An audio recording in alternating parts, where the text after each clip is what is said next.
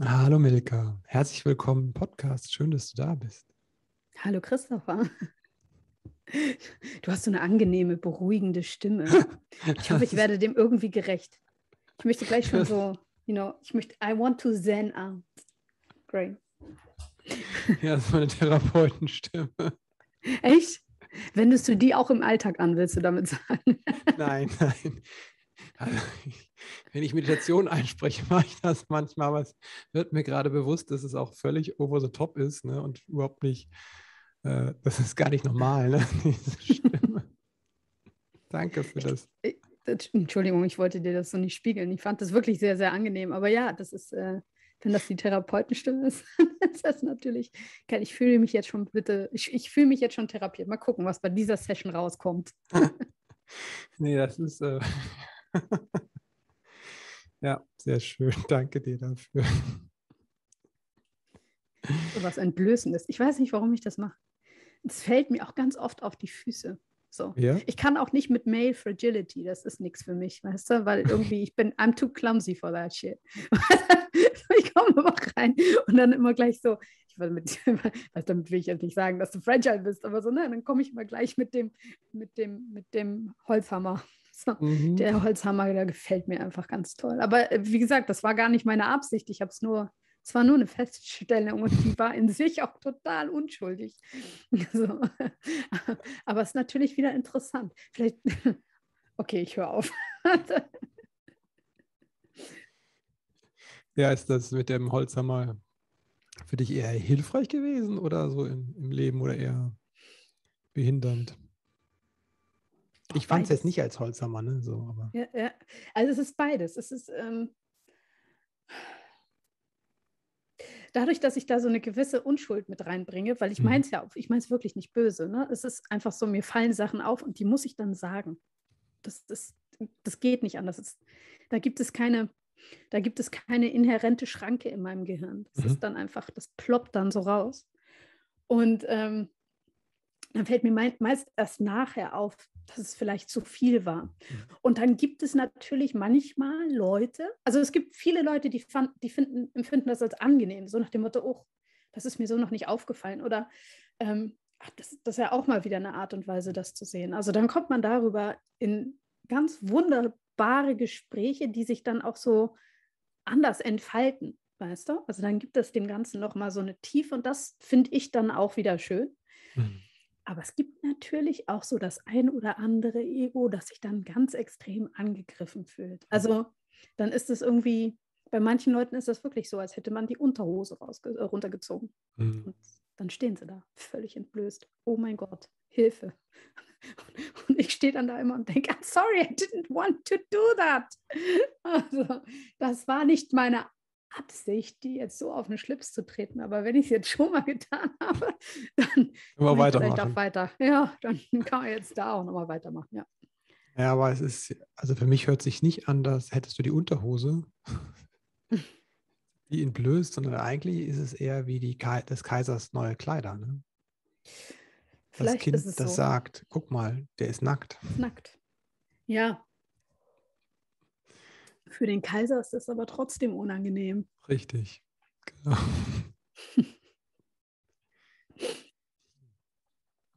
Hat das was mit Selbstwert zu tun? Um auf dein Buch zu kommen. Also das hat ganz sicher etwas mit, äh, mit Selbstwert zu tun. Ähm, hätte der Kaiser einen unzerstörbaren Selbstwert, ein, mhm. ein, ein, ein, gesundes Selbstwertgefühl, dann wäre ihm das total egal. Mhm was das, Klei äh, was das Kind da sagt, mhm. dann würde er auch nicht so viel auf seine Kleidung geben. Richtig. Wobei das ja auch nochmal so ein, ähm, das hat ja nochmal so einen geschichtlichen Aspekt. Sonst mhm. hätte man ja früher den Kaiser nicht als Kaiser erkannt. Es gab ja nicht, äh, die, es gab ja sowas wie Social Media nicht, irgendwie, wo mhm. von jedem, der in irgendeiner Art und Weise bekannt oder wichtig ist, irgendwo ein Bild zu finden ist. Das, das, das war nicht, das war wirklich sozialer Status, waren die Kleider. Jetzt hatte er da die besondersten Kleider an und das waren halt einfach keine, ja. Und ähm, das Kind äh, hat es dann begriffen mhm. und zum Ausdruck gebracht. Und ähm, hätte, wäre wär er jetzt so, ein, so, eine Art Mensch gewesen, glaube ich, der in sich geruht hätte, hätte er gesagt, ja, Meine Nacktheit ist wirklich besonders. Mhm. So einzigartig wie jetzt werde ich nie wieder. Ähm, war aber wahrscheinlich nicht der Fall. Also ich glaube, das führte irgendwie gerade in dem Punkt irgendwo anders hin, weil er sich dann ja natürlich, also ne, das Statussymbol, das ihm entzogen worden ist ähm, und er sich dann plötzlich total entblößt äh, gefunden hat. Und das ist dieses, ich mag das Wort Ego nicht, aber ja, das Ego, das trifft es einfach. Das ist dieses ähm, große Ego, das dann ihm irgendwie quasi auf die Füße fällt. So, ja. Aber passiert schon öfter. Bei uns allen. So. Ich habe in meinem Buch äh, Selbstwert eine Challenge, das, äh, die nennt sich My Essential Challenge. Und da geht es darum, was für einen das Wichtigste im Leben ist. Ne? Also woran man sich ausrichtet, aber auch aufrichtet. Und das sagt ganz viel über ein Selbst aus, finde ich, und über den Kurs des eigenen Lebens. Mhm. Ähm, jeder von uns hat, also jeder Mensch im Leben hat irgendwo ein Essential. Für den oder die einen. Eine ist es ähm, die Familie, vielleicht ähm, für jemand anders ist es das rote Auto. Dann gibt es wieder Leute, ähm, die möchten sozialen, gesellschaftlichen Status oder ähm, äh, ja, Geld, vielleicht aber auch äh, äh, gewisse, diese Seelenruhe, ja. Und danach strebt man und danach richtet man sich aus. Und der Wert oder die Wertigkeit dieses Essentials, die ist natürlich, die beeinflusst auch die Wertigkeit unseres eigenen Lebens. Was ist, wenn das rote Auto weg ist? Was mhm. ist, wenn die Seelenruhe flöten gegangen ist? Und was ist, wenn, ähm, wenn die Familie plötzlich durch einen schlimmen Unfall, ja, äh, toi, toi, toi, das möchte ich nicht sagen, aber plötzlich weg ist, ja, mhm. zerbröckelt, fällt, Scheidung, so. Und dann merkt man häufig, wie Menschen in sich zusammenfallen. Ganz oft fällt mir gerade auf, äh, passiert das so in unserem Alter, ja, wenn man dann so Mitte 40 ist und die erste Midlife-Crisis irgendwie ähm, einen ereilt. Oder die zweite oder dritte, bei mir wären es ja schon, ich habe ja schon ein paar mehr gehabt. Aber ähm, wenn man plötzlich darüber nachdenkt, you know, was ist mein Warum? Mhm. Ja? Was, was, will ich eigentlich? Und wenn ähm, man merkt, okay, das, was ich mir vorgestellt habe, so nach meinem Studium oder sowas, nach der Schule, was mein Warum sein sollte, das ist es nicht. Und der Job, der ist irgendwie scheiße. Und das macht alles irgendwie gar keinen Spaß mehr. Und, und, und warum lebe ich jetzt? Und ganz viele Leute stützt das in eine große, große Krise, weil eben das Essential, dieses Warum, hm. Ähm, nicht groß genug ist. Und ganz am Anfang des Buches ähm, schreibe ich darüber, wie ich Selbstwert, ähm, also den Wert des Lebens quasi äh, äh, definiere. So, ne? Und wie ähm, ich erfahren habe, was die Größe des eigenen Lebens ähm, ausmacht. Mhm. So. Und deswegen sage ich auch, dass es so wichtig ist, sich immer wieder mit diesem, mit dieser eigentlichen Wertigkeit des Lebens ähm, zu connecten, also diese Happiness Connection irgendwie als starke Basis für das Leben zu nehmen, damit man sich immer wieder, egal was passiert, darauf ausrichten kann. Mhm. Und dieses, den, diesen Selbstwert, ja, diese Größe, die, das ist immer ein großes Wort, jetzt kommt es, universale Größe des Lebens, ja, mhm. zum Mittelpunkt und Ausgangspunkt zu machen und dann auf deren Basis zu, ähm, ja, voranzuschreiten. Und ähm, bevor du auf Play gedrückt hast, da haben wir ganz kurz über Selbstoptimierung gesprochen. So, ne? und, und ich meinte nur irgendwie ganz klar, ich hasse dieses Wort. Ich finde, das, das, das, trifft es irgendwie total nicht, weil ähm, ich immer sage, äh, dass, dass der Selbstwert tatsächlich etwas ist, mit dem wir ausgestattet sind. Also wir sind vollkommen ausgestattet und im Laufe unseres Lebens fallen wir in uns hinein. Und, und das ist es eigentlich. Ne? Also wir, wir streben immer so nach in, ins Außen, ja, zum roten Auto, zur Familie, zum Job, zum Weiter, höher, schneller, besser, mehr und ah! Und irgendwann kriegen wir so total die Krise, weil halt unsere, unser, unser Ich ja, unser eigentliches Sein irgendwie nur denkt, what the fuck are you doing? Come back here, weißt du? Und das ist dieses, ähm, das ist, das ist die eigentliche Krise so, dass wir mhm. nicht zurückkommen, in uns selbst wieder mhm. zu uns selbst kommen. Deswegen, es geht nicht um Selbstoptimierung, dass wir besser werden, schneller werden. Es geht darum, irgendwie die Puzzleteile wieder zusammenzufügen, so dass wir und, und die Connection zu unserem eigentlichen Glück, ja, zu unserem eigentlichen Sein wiederherzustellen. Durch unsere Aktion. Und darin, aber auch darin, trotzdem können wir darin immer besser werden. Und wenn wir das tun, wird alles, was wir ähm, darauf aufbauen und alles, mhm. was wir daraufhin tun, besser sein. So, eine bessere Basis haben, eine, sich angenehmer anfühlen, uns in Richtung Glück bringen. Und das ist das, was unser Leben eigentlich von uns will. Hm. Und, Und, das ist. Du sagst, äh, mhm. ja, auch ein. Du sagst, das ist eigentlich ein Erinnern. Also, in dem, war da so ein Wort aus dem ähm, im Buddhismus ist das, ne? Das rechte Erinnern heißt es da und oder Hinduismus, ich weiß gar nicht, Samasati, ne, das rechte Erinnern, eigentlich das Erinnern, was vorher da war. Mhm. Äh, dieser Selbstwert. Wie finde ich den? Üben. Leben. Mhm. So. Und, und, und aufmerksam, sich selbst aufmerksam anschauen. Mhm. Ohne Bewertung. Interessanterweise sind ja die Werte, die wir haben, meistens obtruiert von irgendjemandem mhm. uns auferlegt, erlernt zum Beispiel. Mhm. Ähm, Erwartungen kommen ja auch selten, wenn wir ganz ehrlich sind, aus uns selbst heraus. So. Also es ist ja nicht so, dass ich tatsächlich eine Erwartung an mich habe. So, mhm. jetzt äh, muss ich gucken, dass ich das irgendwie richtig aufschlüssel, weil es fühlt sich ganz oft falsch an. Ne? Meistens sitze ich irgendwie da und denke, ach ja, aber ich erwarte von mir, dass ich das irgendwie gut hinbekomme, dass ich meinen Chef überzeuge und so weiter. Aber ist es wirklich so? Also das frage ich mich ganz oft so. Ne? Also als ich so ähm, hart mit meiner Depression gekämpft habe, da habe ich eigentlich mit den ganzen Erwartungen an mhm. mich und an mein Leben gekämpft. So ähm, die ich in der Tat an mich hatte, ja, ganz, ganz klar. Aber irgendwann wurde mir sehr klar, dass, ähm, dass das so gar nicht stimmt. So, das war, jetzt kommt es wieder, das war, das war mein Ego, das, was irgendwie was sein wollte oder sein will in der Welt. Ne? Irgendwas, darstellen will in der Welt. Und das ist in meinem Job als Moderatorin natürlich irgendwie nochmal ganz besonders tückisch, weil ja, man möchte ja was sein und was darstellen in der Welt, das ist sein Job, verdammt.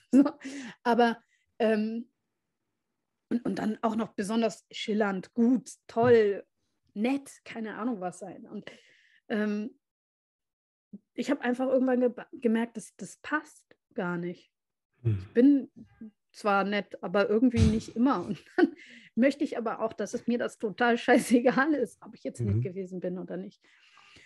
Und daraufhin habe ich mich so auf die Suche begeben nach dem, was tatsächlich da ist. Und witzigerweise war da nie eine Erwartung. Mhm. Da war eigentlich nur so eine, so eine große Freude, das zu können. Ich kann es mhm. nicht anders sagen. Da kam, da war nie so ein, da war nie ein Drang nach außen, ein, mhm. ein, ein, ein ja, ich weiß nicht, so, so, so, da war nie eine Pfeilspitze. Ich habe so eine Pfeilspitze immer gefühlt. Irgendwas, was irgendwo hingehen muss. Und das ja. drückt Selbstoptimierung ja auch so aus, so als würde mhm.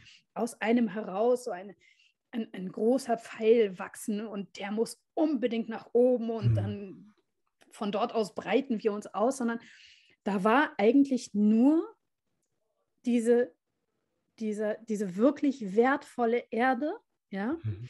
die auf ihre Samen gewartet haben, mhm. hat, die ich mit meinen Wünschen, mit meinen Gedanken, mit mhm. meinen Zielen setzen kann und konnte und immer noch weiter setze, die ich dann wässere durch mein Handeln, durch meine Übung, durch, durch mein Leben und die daraufhin wachsen und gedeihen.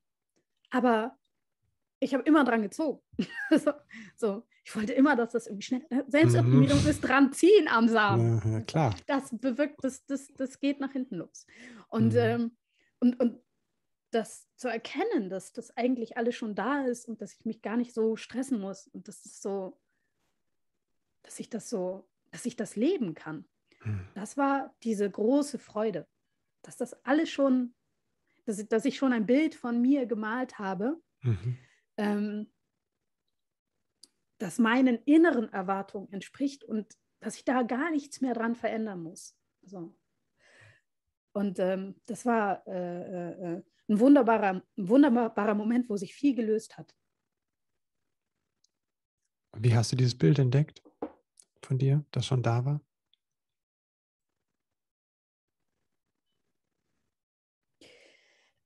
Ich habe mir viel Zeit genommen. Hm. Ich habe mir viel Ruhe gegönnt. Ähm, ich habe viel Zeit gebraucht. Und wie gesagt, ich habe aufmerksam hingeschaut. Hm. Oder auch mal nicht hingeschaut. Aber alles halt sehr, sehr aufmerksam. Und dann habe ich ähm, einfach weitergemacht und kleine, klein, also wirklich kleine Aufgaben gelöst für mich. So. Da geht äh, irgendwie, es ging für mich auch darum, einfach so zum Beispiel kleine Ziele zu erreichen oder irgendwo aufzuräumen. Ja, mhm. also ähm, und, und dabei und das aufmerksam zu tun. Aber das Wichtigste war wirklich die Aufmerksamkeit, die ich mir geschenkt habe. Hm. Wie mache ich das, wenn ich jetzt gerade Eltern bin und das ist das Gegenteil von Ruhe ne? und, und Zeit für mich ja eigentlich. Wie fange ich da ja. an mit der, mit der Suche, mit der Aufmerksamkeit auf mich? Wenn im Außen ganz viel Aufmerksamkeit, ne? Ja, no. Und das hört ja nicht, das hört ja nicht mit, äh, mit eins auf, it. sondern ne, die klopfen auch noch mit drei, mit sieben an die Tür, mit zehn. Oder, ja, genau, genau. Und wollen dann irgendwie was von dir. Und so, so, oh. Du, ich hatte echt total Glück, weil das äh, bei mir schon vorher losging und ich auch sehr viel vorher schon lösen konnte, bevor mhm. ich Kinder bekommen habe. Okay. Das heißt, das, lösen ich, können heißt, ähm, wie hast du das gemacht? Konkret Therapeut, hast dich begleiten lassen, therapeutisch, mich, Coaching? Natürlich, natürlich, natürlich bin ich da. Also mhm. mit so einer Depression, wenn du da nicht in Therapie gehst, dann, mhm. Dann ähm, äh, ja, ich, dann sollte man sich wirklich therapeutisch behandeln lassen. So, ja. Auf jeden Fall. Ähm, mhm. Ich habe aber noch, ich habe nie ein Coaching gemacht. So. Was mhm. ich mache, also ich mhm. persönlich, ich bin Buddhistin. So, ne? Also ich bin, äh, äh, ich meditiere in meiner buddhistischen Praxis mhm. also täglich, morgens und abends. Und das ist eine Zeit, die ich mir auch sehr, sehr, sehr ähm, stoisch nehme. Mhm. So, also das sind, seitdem ich Mutter bin, sind es nicht mehr die äh, äh, drei Stunden am Tag, mhm. ja, die ich dann genommen habe, mir hingesetzt habe und wirklich ähm, mir die Seele aus dem Leib gechantet habe, irgendwie, weil ich so dachte, das kann noch nicht sein, ich will glücklich werden. Ähm, aber ähm, es sind immer noch sehr konsequent, ich versuche mindestens eine halbe Stunde am Tag und äh, äh, äh, zu schaffen, aber das schaffe ich nicht immer. Aber es irgendwie, und selbst wenn ich nur mich kurz hin äh, mhm mich nur kurz hinknie und sage Nam Yoho Renge Kyo, Nam Yoho Renge Kyo, Nam mhm. Yoho Renge Kyo. So. Oder das Sancho gemeinsam mit den Kindern am Abend, mhm. das, was ich eben gerade genannt habe, nennt man so Sancho. Dann ähm, versuche ich genau das so zu genießen. Das ist eine sehr, sehr wichtige Komp Komponente für mich persönlich. So. Ähm, Regelmäßig Meditation. Regelmäßig, genau, diese mhm. Form von Meditation. Ich glaube aber auch, dass jede jegliche andere Art von Meditation schon mal hilfreich ist. So, ich habe für mich gedacht, okay, ich, ich mache das mit diesem Buddhismus, der lässt sich am wenigsten verarschen und ich bin zu schlau. ich ich mache das, also schlau klingt jetzt irgendwie total amassen, aber mit Religion, da mache ich gerne irgendwie, was ich möchte und das ging halt da nicht. Deswegen habe ich das durchgemacht und habe damit sehr, sehr gute Erfahrungen und viele Erfahrungen gemacht. Ähm, eine andere Sache, die ich mache, ist, ich nehme mir wirklich Zeit. So, hm. ich nehme mir ähm, äh, Zeit für die Sachen, von denen ich gelernt habe, dass sie mir gut tun. Mhm. So. Ähm, Was tut dir gut? Zum Beispiel ist es, ist es Sport. Also ich mache jetzt, das heißt nicht irgendwie, dass ich sage, ähm, äh, ich muss jetzt nicht jeden Tag irgendwie großartiges mhm. CrossFit-Programm äh, irgendwie hinmachen. Mhm. Ich mache kein großes, aber ich mache zum Beispiel jetzt im Moment mache ich jeden Tag Yoga, weil ich bemerkt habe, ähm, gerade mit meinem sitzenden Lifestyle, dass mir das ähm, total viel bringt, wenn ich mich aufmache, wenn ich mich dehne. Ähm, diese Art von Bewegung finde ich einfach, finde ich total schön. Also auch diese hm. meditative, ähm, diesen meditativen Aspekt, dass es mit dem Atem ist und so. Ähm, das genieße ich unglaublich. Und alleine der Genussaspekt dieses dieser einen Sache, ja, die ich mache am Tag, die rettet mich über sehr, sehr, sehr, sehr viele Stunden. Also ich werde extrem ungehalten, wenn das mal nicht ist. Mhm. So. Selbst wenn ich nur 15 Minuten hinbekomme, ist egal, es muss keine anderthalb Stunden sein. So. Aber selbst wenn ich irgendwie, selbst wenn es nur fünf, fünf Minuten sind, die müssen sein. Und meine Kinder haben mittlerweile gelernt, dass das auch so ist. Also ähm, in der Zeit bitte, Mama, lass sie mal kurz in Ruhe, das braucht die jetzt.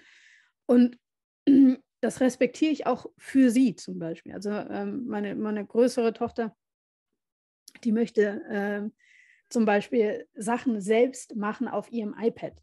So. Jetzt kann man sagen, oh, iPad und oh, Hilfe und mhm. das, das damit, aber das ist ihr Wunsch. Die, mhm. die, sie möchte wirklich sagen, jetzt macht die da jetzt nichts irgendwie äh, Anstößiges oder Doofes, aber sie möchte einfach selbst darüber mhm. bestimmen, dass sie ihr iPad nehmen kann und mhm. äh, mal was drauf machen kann. Wir haben das beschränkt, äh, darf eine halbe Stunde, äh, äh, nicht am Tag, aber eine halbe Stunde, ich glaube so in drei Tagen haben wir gesagt, darf sie dran mhm. machen und dann am Wochenende ist dann aber nichts und so, also solche mhm. Sachen.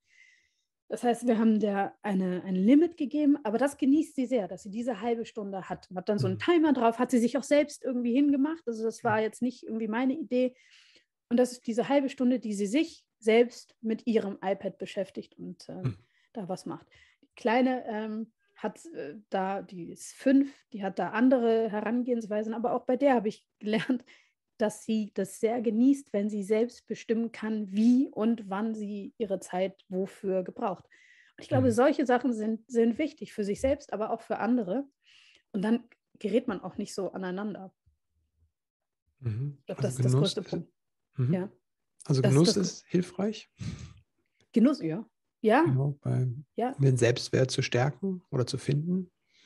Was könnte, was ist noch? Ähm, es könnte noch so ein, so, ein, so, ein, so ein erster Anfang sein, zu sagen, ah, ich will mich mit meinem Selbstwert befassen, den. Also ähm, ein, ein erster Anfang ist, also ich habe den ersten Anfang, den ich gemacht habe, der ist, der ist extrem, ja, profan. So, mhm. ist wirklich total profan, das Aufräumen. Mhm. Also Aufräumen ist wirklich, ich, ich höre es aber auch wirklich immer wieder von jedem. Also jeder Mensch, den ich kennengelernt habe, der meint irgendwie, ich habe heute mein, was weiß ich, meine Schubladen ähm, aussortiert mhm. und geordnet. Danach hast du so ein Gefühl von, oh, jetzt habe ich was geschafft. Das, mhm. das war jetzt irgendwie gut. Und danach geht es einem besser. Und ich, ähm, äh, diesen, diesen Mary Kondo-Moment, ja, das macht schon Sinn. Das hat was mit Verantwortung zu tun. Ne? Verantwortung dafür, zu, für sein Leben zu übernehmen. Und im Buddhismus gibt es einen Spruch, dein, äh, deine Umgebung ist ein Spiegel deiner selbst. So. Und wenn es sehr ähm, unruhig ist in deiner Umgebung, ja, oder wenn du merkst irgendwie, dass es Orte äh, in deiner Wohnung zum Beispiel gibt, ähm, die ähm, die mehr Andacht nötig hätten. Mhm. So. Oder die, sehr. Ähm, Haben wir einige rommelig. von, ja. Ja, ja, ja, ist so. Dann, dann steht halt da irgendwie ewig das um oder der Keller. Ich finde den mhm. Keller ja auch immer so faszinierend. Mhm. Irgendwie, was haben wir alles im Keller stehen? De facto, wann bist, ne, also wann bist du das letzte Mal in deinen Keller gegangen und ähm, weißt du noch, was da alles drin rumsteht? As a matter of fact, in meisten Fällen, wenn du jetzt umziehen würdest und du hättest eine ganz kleine Wohnung, mhm. du könntest 90 Prozent von dem, was in dem Keller ist, irgendwie wegwerfen. Das geht den meisten mhm. Leuten so. Also, wir haben keinen Keller, aber hier gibt es auch so Schränke, wo ich denke, kann eigentlich weg. Das, das mhm. ist äh, nicht mehr nötig. Und äh, da, da wir ja relativ häufig umgezogen sind, ähm, weiß ich mittlerweile irgendwie, wie viel da auch wegkommt. So, von. Und muss. Und das ist total, es ist total gut und es räumt, ja, es räumt das Leben auf. Deswegen sage ich immer, ja gut, wenn, du, wenn du nicht weißt, wo du anfangen sollst, dann räum auf. So, und dann, dann, dann, dann kommt auch Klarheit irgendwie rein in deine, in die verschiedenen Bereiche deines Lebens. So, ne? Also ähm, dann, dann merkst du auch, okay, das habe ich mir schon ganz lange nicht mehr angeguckt. Und dann ist es vielleicht erstmal eine Sache, aber es ist ja meistens eine Sache, die dich an etwas erinnert. So, und dann ähm, kommt wieder Licht in dieses Dunkel und dann weißt du, wo du vielleicht gleich weitermachen kannst. Und das war zum Beispiel eine Sache, die habe ich gemacht, äh, als ich, als ich äh, so krass depressiv, also eine der äh, Sachen, die äh, die Depression ja auch mit sich trägt, ist, dass man irgendwie ja, sein, seine Umgebung verkommen lässt, also nicht mhm. mehr die Energie hat und so weiter ja. und so fort.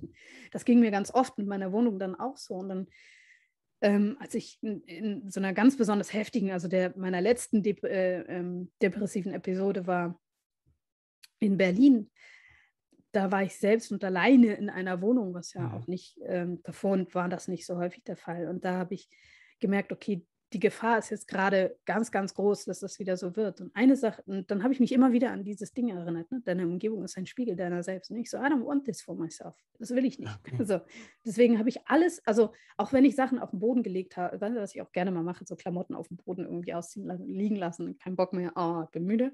Das habe ich nie gemacht. Ich habe mhm. sie immer alle mit Intention und sehr aufmerksam aufgehoben. Hm. Und habe das wirklich zu meiner Routine gemacht. Wenn, und wenn das das Einzige war, was ich, was ich tun konnte. Eine weitere Sache, die ich gemacht habe, war, ähm, äh, äh, ich habe mir Pflanzen gekauft. Pflanzen und Blumen. So, ich bin kein großer, ich habe keinen grünen Daumen. Ich ähm, bin auch damals zumindest, jetzt in Holland hat sich das sehr geändert, aber damals zumindest, weil ich kein großer Pflanzenfan gewesen mhm. an sich. Aber ich habe bemerkt, ähm, dass es mir hilft, mich um so etwas zu kümmern. Ein Haustier würde ich mir jetzt nicht anschaffen wollen. Auch so, ähm, mhm. Äh, da, da sehe ich mich nicht unbedingt in der Lage, auch in der Lage zu. Und das wäre äh, damals auch extrem gefährlich gewesen für das arme Tier, Tierquälerei.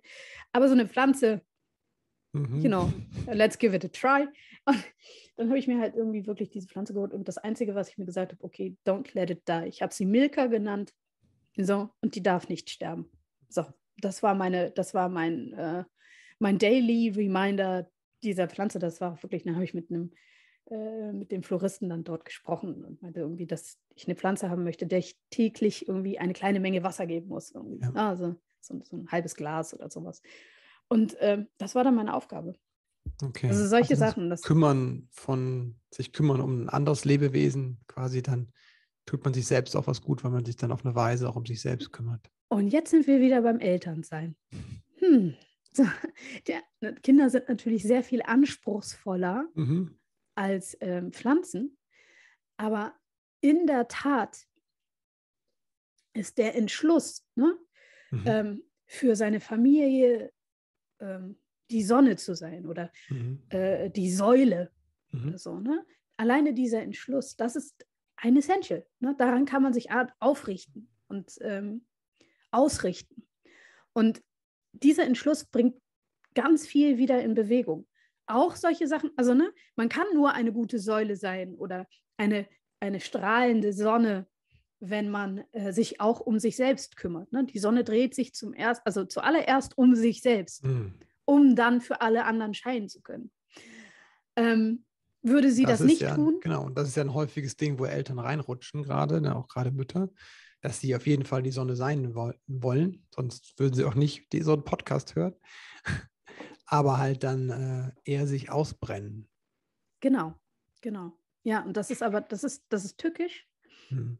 Ähm, aber es ist immer beides. Ne? Also hm dieses um sich selbst drehen, ich sage auch immer, ich vergleiche das immer mit einem Basketball, den man auf dem Finger irgendwie mhm. balanciert. Mhm. Ne? Wenn du den Basketball hier, das sieht man auch so schön, wenn du den Basketball nur so auf dem Finger balancieren mhm. würde, dann würde der ganz schnell umfallen.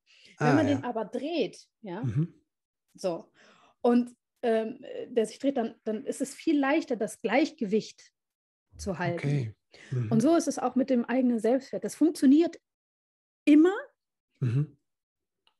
Ähm, ja, also es ist nicht nur dieses Self-Care, sondern mhm. auch dieses I-Care. Ne? Also, mhm. dass man sich um andere kümmert. Aber beides braucht eine gute Balance. Okay. Mhm. Und nu nur in dieser Balance funktioniert es gut, glaube ich. Mhm. Ja, wie finde ich die? Ja, das ist, äh, weil ich, weil ich sehr dualistisch denke, ne? Und äh, in meiner Arbeit auch. Ne? Man denke halt, dass deswegen tue ich mich auch schwer damit, irgendwelche Aussagen zu machen. Ähm, mach dies oder mach jenes, ne? weil ich denke, es kommt immer drauf an. Und dann, ne, wie Dualismus, du hast halt zwei Seiten, ne? also die Self-Care und die Care for. Und das ist halt die Frage, ähm, wo bin ich auf diesem Spektrum? Meistens haben wir ja von unserer persönlichen Prägung sind wir irgendwo eher, ne? eher in der Autonomie oder eher in der Bindung. Und ähm, mhm. das zu erkennen und dann bewusst zu werden, da hin und her laufen zu können, ne, dann kann ich ja Gleichgewicht schaffen oder auch ne, dahin gehen, wo es gerade notwendig ist.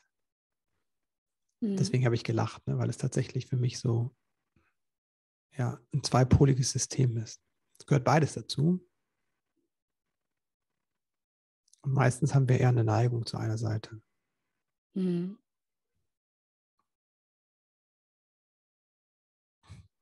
Ja. Das war mein Lachen. Jetzt kommt ja auch schon die Ambulanz. Ähm, ja, ich glaube, das, also ich, ich glaube, dass es tatsächlich irgendwie so eine, so eine Art Schwingung ist, in die wir uns äh, reinbegeben in dem Moment, in dem wir leben. Ne? Also wir bewegen uns mhm. so, ständig. Äh, Im Buddhismus, äh, der Buddha im Buddhismus hat viele, viele Namen und einer mhm. der Namen ist der, der immer handelt. Mhm. So. Ähm, ein anderer ähm, buddhistischer Philosoph hat das mal übersetzt mit ähm, der Buddha ist das Leben selbst. Mhm. In dem Moment, ne, also immer, also wenn wir atmen, auch wenn wir nicht mehr atmen, aber wenn wir, mhm. wenn wir atmen und wenn wir sei, sind, ja, ähm, sind wir in Action. Mhm. Und selbst wenn wir nichts tun, ist das eine Handlung. Mhm. Na, manche Leute entsch entscheiden sich ja sehr, sehr bewusst dann irgendwie zu sitzen und das Leben an sich vorübergehen zu lassen nach dem Motto, okay, wenn ich es lang genug aushalte, dann wird es schon vorbeigehen. Mhm. Ich gehöre auch dazu manchmal. so, mhm. ähm, so bei, bei sehr unangenehmen Situationen, die sitze ich gerne aus. Mhm. Aber auch das ist eine, ähm, eine Handlung. Da noch einmal zu gucken, ähm, was ist mein eigentlicher Entschluss? Mhm. So, why? Was meinst du mit dem was Warum? Ja, genau. genau. Was ist denn dein Why? Warum? Dein Warum? Why? Ähm, Wenn du es teilen möchtest. Äh, ja, es, es, es, gibt ein, ein, ein, ein ich habe mich da total äh, wiedergespiegelt gefühlt äh, bei Neil deGrasse Tyson, den ich ganz großartig finde großen Wissenschaftler und einfach auch tollen Mann. Und der hat mal gesagt, ich kriege es jetzt nur äh, ungefähr wieder, ähm, meine, mein, ja, meine ursprüngliches Interesse ist es immer mehr über die Welt zu erfahren hm. und ähm, diese gleichzeitig ein bisschen besser zu machen für alle Menschen durch mein Sein. So. Ich glaube, das ist mein, why. So, das, mhm. ich, bin, ich bin unglaublich neugierig. Ich finde Menschen großartig. So, mhm. ich ähm, wünsche mir aufrichtig, dass alle Menschen glücklich werden können. So. Mhm. Also das, ich wünsche mir das von Herzen, dass jeder diese, diese Happiness Connection, ne? diese, mhm. diese, diese Verbindung zum, zum eigenen Glück tatsächlich für sich verwirklichen kann. Und immer wieder aufs Neue. Das ist ja witzigerweise nichts, was irgendwann mal fertig ist. Ne? Also ganz mhm. oft wurde ich dann irgendwie, ich habe das Buch rausgebracht und dann haben mich Leute im Interview gefragt, und bist du denn jetzt glücklich? Wie ich so, was ist denn das für eine Frage? Mhm. Also, äh, Im Prinzip schon. Ja, ich mhm. habe eine gute Basis, aber mhm. natürlich kippe ich auch mal ganz groß in so, mhm. so ich mache dann immer so Dip Dives in äh, kleine, weißt du, manchmal bin ich auch ärgerlich und Dings, aber die mhm. Basis ist da. So, ich weiß, mhm. und, und die wird auch mit jedem Tag meines Lebens immer stabiler. Wow. Das heißt, irgendwie, egal was passiert, ähm, das war so interessant. Ich hatte einmal, ich hatte einmal eine Situation, da war ich äh, in einem Redaktionsjob, bei dem ich schon gemerkt habe, dass er mir nicht gut tut, weil ich viel nachts arbeiten musste. Mhm. Und ich habe überlegt, wie ich das dann lösen konnte und habe dann aber irgendwie gedacht, naja, aufgeben will ich ja jetzt nicht und hab, bin dann zu meiner ähm, Redakteur, also Chef, zur Chefredakteurin gegangen und habe äh, gesagt, ich würde gerne lieber mehr Tagesschichten machen, weil diese Nachtschichten, die sind wirklich nichts für mich. Die kann ich, ja, kann ich nicht gut, äh, die, verwer also die verarbeite ich nicht gut. Das hatte was mit meiner Epilepsie zu tun. Und das würde ich aber auch heute immer noch genauso machen, weil ich gemerkt habe, irgendwie Schichtarbeit ist sowieso nicht gut, äh, war dafür nötig, ähm, war dann aber einfach eine gute Entscheidung, dann da zu sein. Und dann hat sie nur irgendwie ganz trocken gesagt, und das war aber auch so ein bisschen ihr Ding, ähm, nee, und nee, das möchte sie nicht machen und sie würde mich dann auch gleich gehen lassen, weil das wäre ja irgendwie besser. Mhm. Und hat das dann, hast du schon richtig gemerkt, die hat dann irgendwie alles Mögliche erwartet. Ne? Also so, dass, dass dann so die Knöpfe irgendwie losgehen und dass ich dann total am Boden zerstört bin mhm. und unbedingt Dings und ich so, hm. Natürlich habe ich gesagt, war ich, war ich so schlecht oder was ist denn jetzt hier los? Auf der anderen Seite habe ich gedacht, naja, dann gehe ich jetzt. Und habe das aber auch wirklich so, also so, meine Reaktion war so aufrichtig. Ich so, ach, okay, dann bin ich jetzt weg. Und das hat die völlig aus dem Konzept gebracht, mhm. weil sie dachte wirklich, sie stößt mich damit in ein irgendwie Loch, aus dem ich ganz schwer wieder rauskomme. Ähm, und habe ich aber einfach gemerkt, nee, meine Basis ist gut genug. Danach habe sie hat erwartet, dass, dass die, äh, sie dir die Hand reichen kann für das Loch, ne?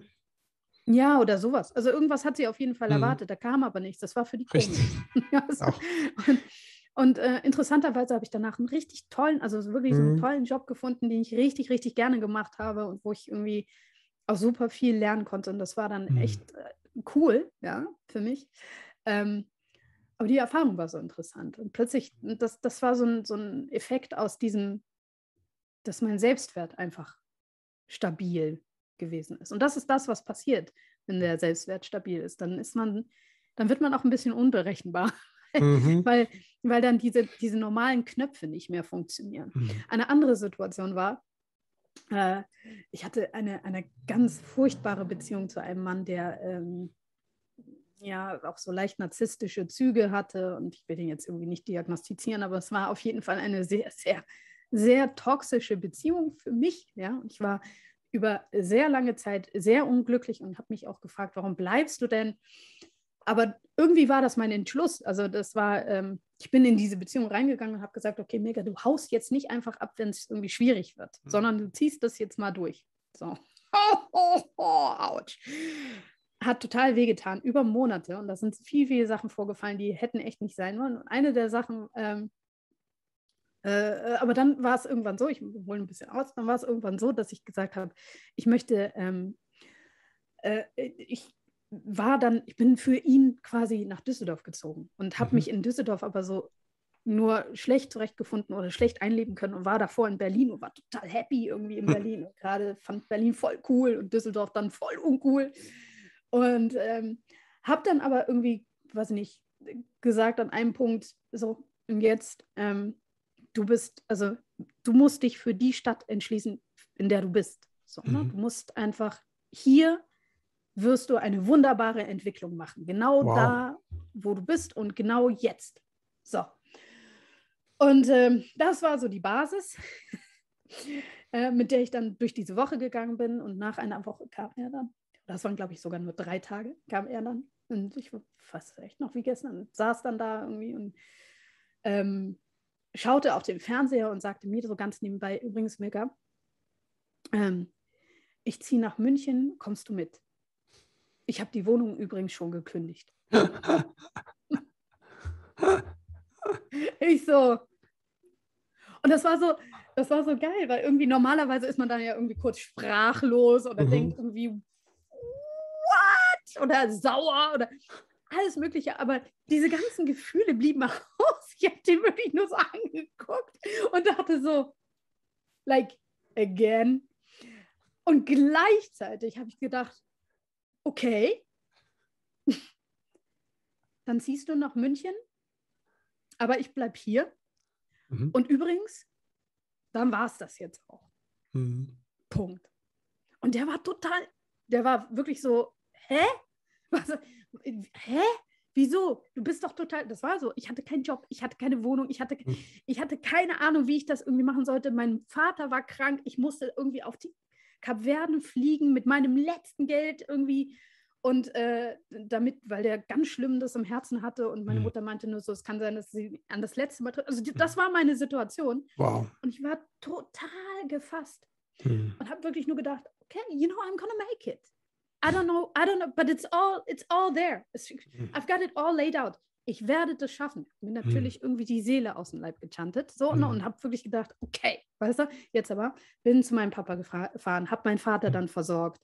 Ähm, äh, war halt irgendwie bei ihm. Es ist danach noch einmal sehr viel schlimmer geworden, aber dann hat er sich total, da meinte der Arzt nur so, wie, wie durch ein Wunder, so, die haben Medikamente verändert und sonst irgendetwas, haben aber wirklich gedacht, der stirbt, aber wie durch ein Wunder, irgendwann drei Tage nach meinem Abflug ist er ins Krankenhaus, sechs Tage danach war dann, ist er wieder irgendwie im Hof rumgelaufen und war dann irgendwie total happy. Und dann ging es wieder sehr, sehr gut für äh, noch viele, ich glaube, äh, noch sechs weitere Jahre. Also das mhm. war total cool. Und ich bin dann zurück, ähm, habe dann einen Job gefunden, habe auch eine Wohnung gefunden, habe alles gefunden. Ich habe dann eine super schöne Zeit in Düsseldorf gehabt und war voll happy so mit mhm. meinem Leben. Und ähm, alles kam aus mir selbst raus. Ne? Mhm. Also, und das war dieses, was ich vorher alles geübt habe, dieses Verantwortung zu übernehmen, mhm. irgendwie zu sagen, okay, was tut mir gut und was nicht was will ich, wo richte ich mich nach aus? Ne? Ist es eine Beziehung, weißt du? Und auch aufmerksam zu beobachten, habe ich mich jetzt etwa nach einem Mann gerichtet? So, ups, I think I have to reframe my thoughts. Weißt du, das war auch alles ein Prozess, aber das ist immer wieder ein Prozess. Und natürlich ist es ein bisschen wie Zwiebelschälen. So. Mhm. Ich sage nicht, dass heute ähm, ich in manchen Situationen weniger heule, aber meistens weiß ich irgendwie so ungefähr, was auf mich zukommt. Und mhm. immer gehe ich davon aus, dass es gut wird. Mhm. Super. Wer da mehr wissen will, dem lege ich dann dein Buch ans Herz, die Happiness Connection. Da sind ja dann ganz viele Wege drin und ähm, Challenges, wie man das ähm, sich seinem Selbstwert nähern kann, der, wie du sagst, da ist. Ja, ich finde, das ist übrigens auch was Schönes, was man lesen kann, zusammen mit seinen etwas älteren Kindern. So, mm. Ich finde, ich glaube, es ist eine ähm, gute Basis und ich habe es auch bewusst so geschrieben, dass es ähm, sehr leicht verständlich, ja. Es, accessible äh, bleibt, ja, genau. Also total, ist, unglaublich. Dass es nicht so ähm, dass, es, dass es nicht so abgehoben wirkt oder so. Nee, nee, du benutzt ja auch dann Bilder wie App für irgendwie Muster in unserem Köpfen und so und äh, genau. Genau, genau. Also ähm, wie wir das glaube, Update das fahren ist, können und so. ja, genau. Und regelmäßige Updates sind wichtig. Mhm. ja, stimmt. ich werde jetzt erstmal eins machen müssen. Ja, und wenn man mich finden will, irgendwie auf Instagram kann man mich super finden, ähm, Mikala Fernandes. Äh, es gibt auch eine Selbstwertseite, die man taggen kann, wenn man so eine Challenge macht. So, also ah, okay. Selbstwert, ganz einfach mhm. und naheliegend. Ähm, und das, das äh, reposte ich dann auch irgendwie gerne. Das mhm. finde ich, äh, find ich ganz großartig. Insofern, ja. Super, danke dir. Deine Webseite und alles packen wir auch in die Show Notes. Ilka, vielen, vielen Dank. Also nicht nur, dass du da warst, sondern ich möchte auch für deine Arbeit danken. Mhm. Auch wie offen du umgehst mit, ne, mit deinem, mit der Depression. So. Das ist ja auch ein Thema, das einfach ähm, eine Erkrankung, die viele Menschen betrifft und dass immer noch psychische Erkrankungen immer noch mit einem sehr hohen Stigma oder Tabu versehen sind ne? Und mit Scham. Und deswegen ist das einfach so wertvoll, wenn Menschen dann äh, damit rausgehen und einfach dazu stehen und sagen, es ist ein Teil von mir und es ist, äh, ist ja nicht schlimm und man kann auch glücklich werden, obwohl man ne, durch sowas gegangen ist. Das ist, glaube ich, macht auch viel Hoffnung. Genau. Ja. Und daher vielen, vielen Dank auch für dein Buch und für die ganze Arbeit, die du machst. Ich danke dir. Jetzt habe ich noch ein paar letzte Fragen, die alle meine Gäste beantworten dürfen, wenn sie wollen. Wenn du an deine eigene Kindheit denkst ähm, und es etwas gab, was du dir selbst beibringen durftest, was war das? Klettern. Klettern. In Bäume klettern. Ich habe immer gedacht, ich bin ein Affe und ich, ähm, ja, ich habe äh, gerne geklettert. so, das durftest du auch, ne? Genau. Nicht. okay. Ja und nein. So. Mhm. Also ich habe meine Grenzen da gerne ausgetestet und ich bin auch mhm. mal vom Baum gefallen, aber es hat mir nicht geschadet. Okay. Gab es was, was du später dir beibringen musst, konntest, durftest, was ähm, vielleicht da. Klavier spielen. Klavier spielen, okay. So. Ich äh, wollte immer Klavier spielen und ähm, das war etwas, das konnten sich meine Eltern nicht leisten, okay. dass ich das lernen kann. Und deswegen äh, habe ich mir jetzt vor zwei Jahren oder so, mhm. ja, vor zwei Jahren äh, sind wir in ein, ein, eine Wohnung gezogen, in der schon ein Klavier stand. Mhm. Und dann meinte ich, das ist doch jetzt die perfekte Gelegenheit, mhm. auch einmal damit was zu machen. Und dann habe ich ein bisschen Unterrichtsstunden. Ja, und jetzt übe ich fleißig auf meinem Klavier. Und ich werde äh, kein, ähm, äh, kein zweiter Chopin werden. Mhm. Aber so ein bisschen was mache ich und es macht mir einfach Spaß. Wofür bist du deinen Eltern dankbar? Ähm, meine, meiner Mutter bin ich sehr dankbar. Und heute Morgen habe ich das gerade wieder gedacht. Meinem Vater bin ich sehr dankbar für seinen that he cared so much. Hm. So, er hat, äh, der war immer da, der hat wirklich, der war wirklich eine Säule. So, auch hm. heute noch. Heute habe ich wirklich gedacht, die Art und Weise, wie der das hinbekommen hat, bis zum letzten Moment, so, ne? mit, mit, einer, mit einem Stolz und einer Würde und dem unbedingten Willen, dass es uns gut geht. So, ne? Also das war äh, einer dieser, dieser Väter, die sich richtig ja, der ist aufgestanden für seine Familie, auch über sich selbst hinausgewachsen für seine Familie. Das fand ich ähm, äh, sehr, also finde ich sehr beeindruckend. Und bei meine, meiner Mutter, der äh, bin ich sehr dankbar für ihre, für ihre, wie nenne ich das jetzt? Für ihre Offenheit. Die ist so, die ist so, die hat mich wirklich machen lassen. Also die hat mich wirklich gesehen, so. Mhm. Ich glaube, die hat äh, gebetet ohne Ende, aber die hat, ähm, die hat mich machen lassen, so und äh, hat auch nie verurteilt, was sie sowieso nie machen würde. Aber sie hat, sie hat mich nie verurteilt für das, äh, was ich getan habe. Und dafür bin ich ihr sehr, sehr dankbar. Wenn du werdenden Eltern drei Dinge mit auf den Weg geben könntest, wo du sagst, das ist eigentlich das Wichtigste im Leben mit Kindern. Was wären das? In Holland sagt man, kommt gut. das musst du übersetzen. Das wird schon. Okay. Das, das, wird schon. Ich, mhm. ich finde irgendwie, ich, ich bin nicht die Person, die äh, jemandem Tipps geben kann in Sachen Erziehung. Irgendwie, mhm. you know, I struggle myself. Und äh, ich, äh, meine, meine Schwiegermutter hat immer gesagt, äh, mit Liebe geht alles. So. Mhm. Und ihre Kinder sind alle ganz, ganz super geworden. Und ähm, ich glaube, das ist, das, das ist irgendwie das Wichtigste. So, ne? Also mhm. das Wichtigste ist wirklich, you know, liebt eure Kinder. So, und die wollen euch nichts Böses. So, mhm. das, das sind keine Tyrannen, auch wenn sie manchmal tyrannische Gestalt annehmen. Aber ähm, ja, aber ich, ich lerne ganz viel von meinen Kindern. Das ist unglaublich. Also jetzt habe ich gerade wieder genau dieses Ding, meine, meine, ähm, oh, eine Sache, die habe ich, die habe ich noch gehört von einer Mutter, die fand ich auch ganz toll. Ähm, die meinte, du kriegst immer die Kinder, die du gerade so aushalten kannst. Mhm. und, dann, und das fand ich ganz äh, wichtig, wichtig und witzig. Und ähm, meine erste war sehr, sehr schwierig in, der, in den ersten paar Monaten, so ein richtiges Schreibaby und äh, hat nie geschlafen, so ewig lange nicht. Aber die hat mich dann, ähm, hat mir dann beigebracht, irgendwie, dass ich mich auf mich und meine Instinkte konzentrieren darf in der, in meiner Mutterzeit. Und äh, egal was irgendwelche Ratgeber oder sonst irgendetwas sagen, so ich weiß das schon. Und interessanterweise war es wirklich immer so, wenn ich das dann gemacht habe und mit ihr auf diese mütterliche, liebende, intrinsisch schon bewusste, klare Art kommuniziert habe, hat es irgendwie immer funktioniert. Und heute ist die unglaublich selbstbewusst und total großartig und weiß genau, was sie will und kann das auf eine ganz, ganz liebevolle und nette Art ähm, auch ausdrücken äh, wirklich ein tolles, tolles Mädchen. Die Kleine, die ist halt so ein, ist halt nochmal äh, auf eine andere Art und Weise, hab, bin ich scheinbar schon wieder ein bisschen gewachsen, so innerlich. Mhm. Äh, voll die Herausforderung.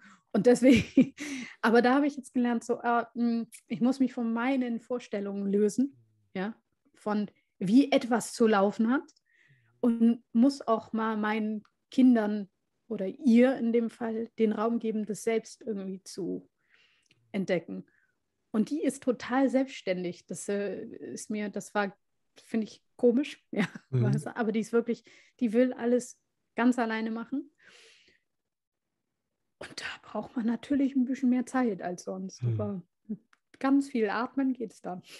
Das war gestern so geil. Dann sind wir aus dem Flugzeug raus und die wollte selbst die Koffer nach, außen, nach draußen rollen. ja, wir waren in der Mitte, der halbe Flieger musste halt ewig warten. Ne? Und dann meinte die Stewardess nur so, na jetzt noch ein bisschen schneller, ne? So. Und mein Mann hat ihr dann echt nur so, so, so einen bösen Blick irgendwie hingeworfen und dann meinte sie so, du machst das ganz toll. Die war super stolz, hat das aber auch wirklich alles selbst so nach draußen und wir haben dann wirklich gedacht, weißt du was, wir lassen es jetzt einfach laufen. Kommt, kommt gut, weißt du, kommt alles gut. So. Das sind auch schöne, schöne Botschaften. Ähm, es, ähm, es wird alles gut, oder? Ne? Ja. Ähm, mit Liebe und ähm, mit den Kindern wachsen, zusammen wachsen, gemeinsam wachsen. Ja. Danke, Milka. Danke, Christopher.